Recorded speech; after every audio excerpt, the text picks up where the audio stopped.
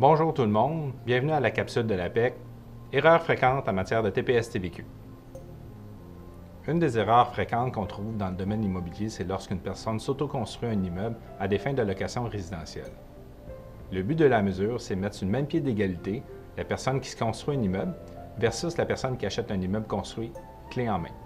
La personne doit remettre la taxe sur la juste valeur marchande de l'immeuble au moment de l'autocotisation. À cette fin, les évaluateurs agréés du Québec ont produit un guide pour nous aider à déterminer sur quelle valeur on doit remettre la taxe au gouvernement. Le gouvernement nous demande de remettre la taxe le plus tard de on transfère la possession à un premier locataire ou encore les travaux sont achevés à 90 une, une autre erreur fréquente concerne les avantages imposables automobiles. Lorsqu'un employeur met à la disposition d'un employé ou d'un actionnaire un véhicule, il va avoir un calcul d'avantage imposable sur la portion personnelle d'utilisation du véhicule. L'avantage est composé de deux éléments. Le premier élément, c'est le coût d'achat ou de location du véhicule, et le deuxième est les frais d'exploitation du véhicule. L'employeur, lorsqu'il calcule l'avantage imposable à la fin de l'année, doit remettre les taxes sur la valeur de cet avantage.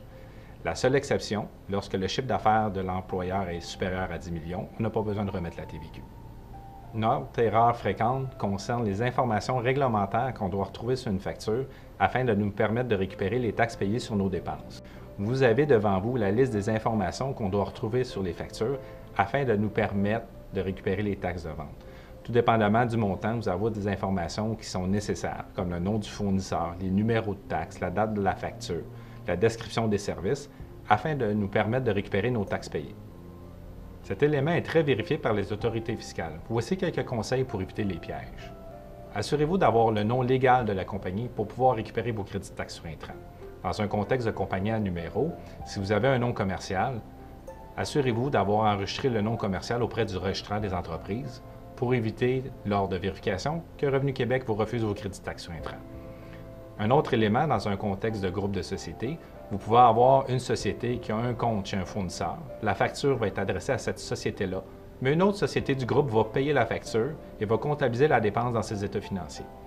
Pour éviter des situations où Revenu Québec pourrait refuser vos crédits de taxes, assurez-vous que la personne qui paye la facture et comptabilise la facture ait son nom sur la facture ou qu'il y a encore un contrat de mandat entre la compagnie du groupe qui a le nom sur la facture et la compagnie qui assume la dépense.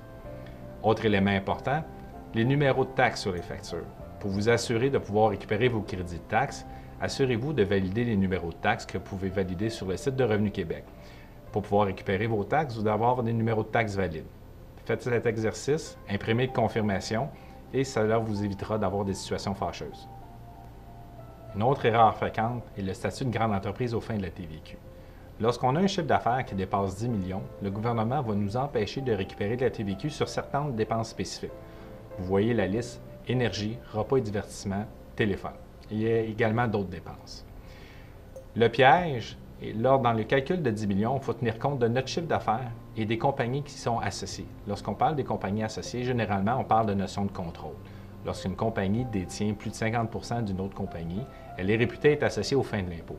Alors, il faut tenir compte du chiffre d'affaires de toutes les entités qui sont associées et mesurer si on dépasse 10 millions et si oui, éviter de récupérer la TVQ sur les dépenses que vous voyez devant vous. Le calcul se fait à chaque année. Alors, assurez-vous, lorsque vous avez un chiffre d'affaires qui tourne alentour de 10 millions, de faire l'exercice à chaque année pour éviter de vous restreindre de récupérer de la taxe sur des dépenses auxquelles vous seriez admissible. Une autre erreur touche les mauvaises créances. Lorsqu'on radie un compte à recevoir, le gouvernement va nous permettre de redresser les taxes qu'on lui a remis lorsque le client ne nous a pas versé cette taxe-là. Pour pouvoir faire l'exercice, le gouvernement va nous demander d'avoir fait des efforts raisonnables pour recouvrir notre créance. Ce qui est important, c'est de documenter ces efforts-là. Dans une situation de vérification, si on n'a pas de preuve qu'on a fait des efforts raisonnables, à ce moment-là, le gouvernement pourrait nous refuser le redressement de la taxe.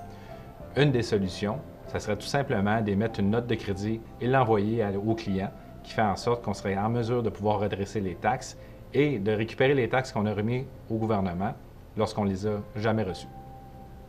Comme vous avez pu le constater, il y a plusieurs éléments qu'il faut considérer pour éviter des erreurs en matière de taxes à consommation.